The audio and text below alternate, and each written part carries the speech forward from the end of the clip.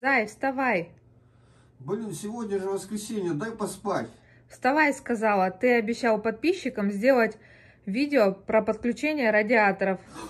Бегу. Привет подписчикам. Ну что, пришло время э, проанализировать полностью все подключения радиаторов, э, диагональные, боковые, э, верхняя подача, нижняя подача, обратки, там все полностью. Как бы давайте проверим, чтобы уже знать точно, где это, блин, правда с подключениями радиаторов.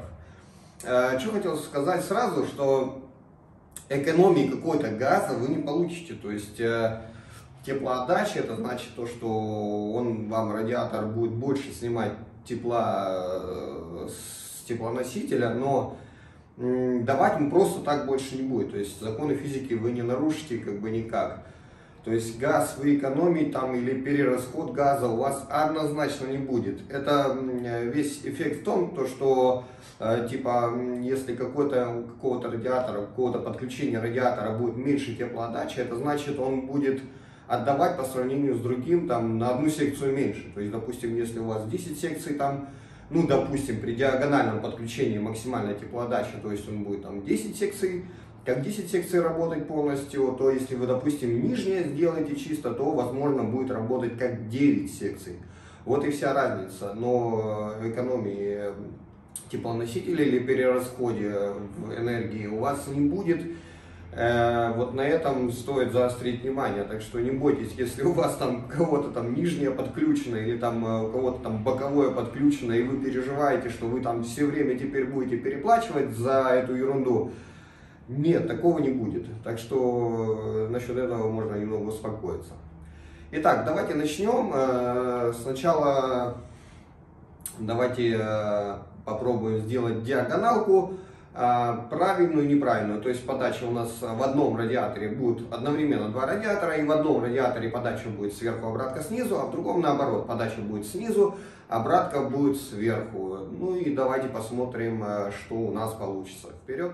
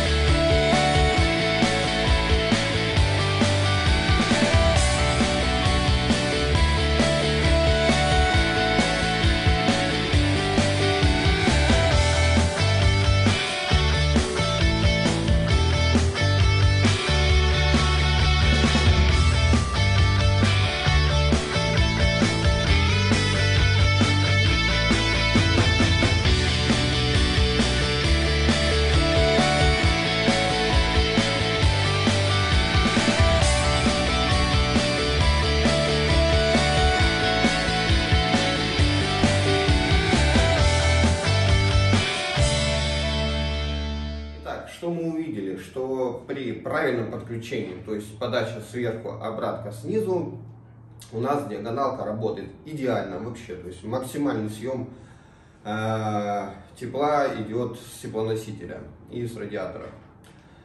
Если мы подключаем неправильно, то есть если у нас подача идет снизу, обратка идет сверху, то уже происходит билиберда, и радиатор там может работать на 20, на 30 процентов, там максимум на 40 процентов. Остальное все как бы он не работает, то есть он мимо проходит э, теплоноситель и все. Э, давайте теперь э, скажем о преимущественных о преимуществах именно этой системы. При правильном подключении она дает максимальную теплоотдачу. Запомните, у каждого подключения радиатора будет свои преимущества, и сейчас я буду про них рассказывать, то есть после каждого теста буду рассказывать, э, как та, то или иное подключение, чем оно хорошо и чем плохо. Итак, диагонально хорошо, максимально отдает тепло. Если перепутали подачу с обраткой, все, хана, радиатор работает только наполовину. Так, теперь дальше приступим э, к боковому подключению. Вперед, посмотрим.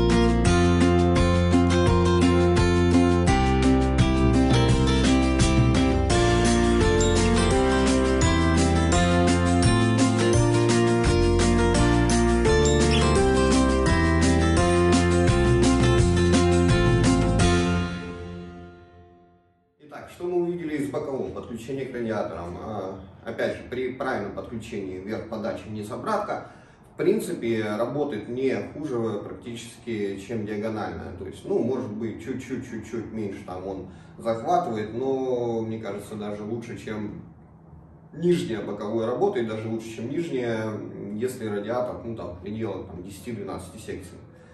Вот. Если перепутана подача с обраткой, опять же, работает вообще минимально. То есть одна-две секции и остальное все бросает, то есть она сразу уходит наверх, подача сразу уходит в обратку и все, э, работы никакой нет. Давайте преимущества. Радиатор прогревается тоже очень хорошо, то есть максимально забирает тепло.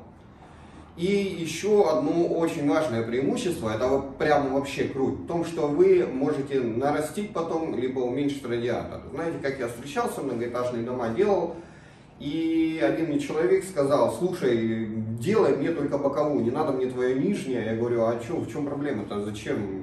В принципе, краниками прикрутите, да и все, если что. Он говорит, нет, нифига эти краники не работают. Я вот сейчас делаю боковое, если у меня будет сильно жарить, я смогу без ремонта убрать там пару секций, допустим. Если мне будет прохладно, я смогу спокойно добавить пару секций без вреда для ремонта. То есть не надо там менять э, выходы, перештрабливать что-то там, э, не знаю, там долбить, там, переносить что-то. То есть радиатор у вас останется висеть на месте, и вы можете добавить одну, две, три секции, либо наоборот убрать, если у вас там сильно жарко становится. Вот это очень большой плюс бокового подключения. Это вот просто бомба. То есть, если вы не знаете, или вы живете там э, в многоэтажном доме, да, и вот только запустили э, систему отопления, и вы не знаете, там, или вам сейчас сразу прохладно, и вы делаете ремонт, что-то меняете, да, вы можете, в принципе, сразу сделать так, что убрать там одну, две, три секции, либо э, потом добавить, то есть э, можно сразу сделать боковое подключение и потом поиграться. У вас всегда будет запас мощности. Если вы сделаете нижнее либо диагональное, э, такого варианта у вас нет, э, без переделания ремонта, то есть без штрабления, там, без вывода каких-то кривых труб вы этого не сделаете. Вот такие вот э, преимущества бокового подключения. Недостатки говорят, что если большой радиатор, то не доходит до него тепло, но это со временем посмотрим на это. А, и опять же недостаток, если подачу с обраткой путаете, все, хана, он не работает. Так, теперь э, сделаем э, еще одно видео с нижним подключением и с чисто верхним подключением, чисто ради прикола. Посмотрим, что будет. Итак, поехали.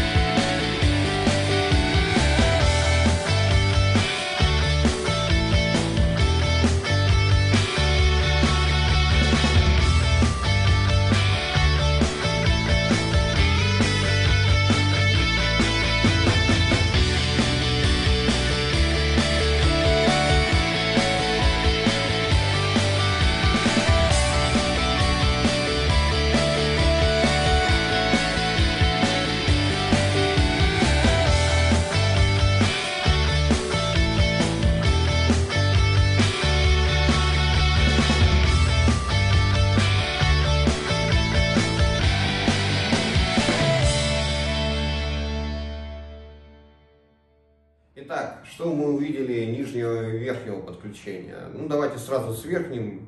Это полная фигня.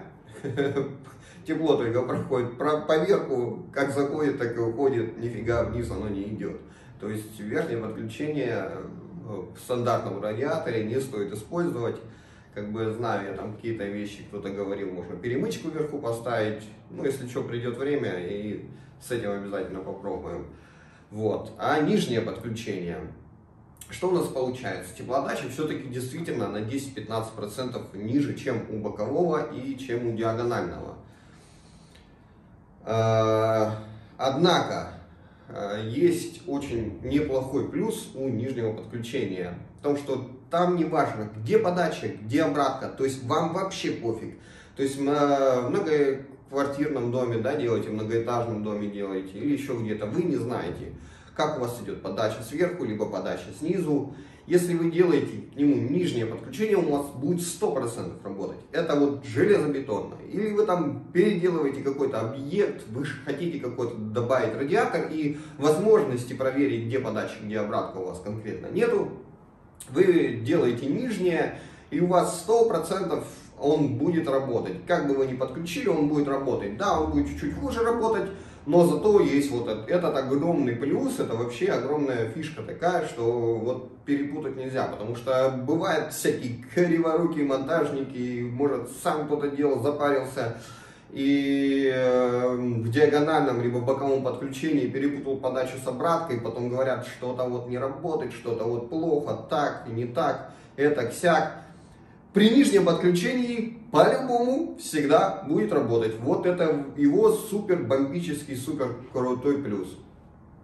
Ну и так, вроде бы я рассмотрел все подключения радиаторов, вроде бы э, все ясно, все наглядно, все понятно. Дальше в следующих сериях, наверное, еще немного помучим, э, поэкспериментируем, по Попробуем заставить как-нибудь по-другому э, вести теплоноситель себя, пути какие-нибудь ему придумаем. Ну а пока вот так вот самые стандартные, самые обычные а, подключения. Итак, давайте я еще раз коротко скажу по, про преимущества каждого вида подключения. Диагональная – это э, стопудово максимальная отдача от радиатора тепла. Боковое – возможность у вас изменить а, длину, то есть э, увеличить радиатор со временем, либо уменьшить радиатор, если у вас там сильно жарко, э, без необходимости что-то переделания. То есть вы э, два ниппеля добавили, две секции прислонили, либо убрали и спокойно вообще пользуйтесь дальше. И у нижнего какое преимущество? Вам не важно, где подача, где обратка, вообще пофиг. То есть поставили как угодно. Подача, обратка, обратка, подача. Все равно все будет всегда работать. Вот такое видео. Э, я вам скажу, что 80-90% делают нижнее подключение. И в принципе в этом ничего страшного такого нет. Но если вы подходите конкретно для себя, вы делаете для себя дом и вот хотите, чтобы максимально все было классно и комфортно, делайте диагональное и Э, подачу обязательно сверху. Вот такой мой совет. Но также, опять же, есть вот про боковое тоже не стоит э, забывать. То есть где-то, может быть, э, у вас там, вы захотите там сделать какой-то там погребок там или что-то такое, там помещение, где должно быть прохладнее, да, и вы не поставили термоголовку и краником, возможно, не сможете отрегулировать, вы если там сделаете боковое, то вот тоже такой вариант, что можете убрать. Допустим, будет жарко, да, вы хотите там, чтобы у вас там было плюс 5, плюс 10, чтобы ну, там не портились продукты какие-то постоянно, да. Вы потом сможете отчекрыжить, как бы заглушить и будет у вас попрохладнее.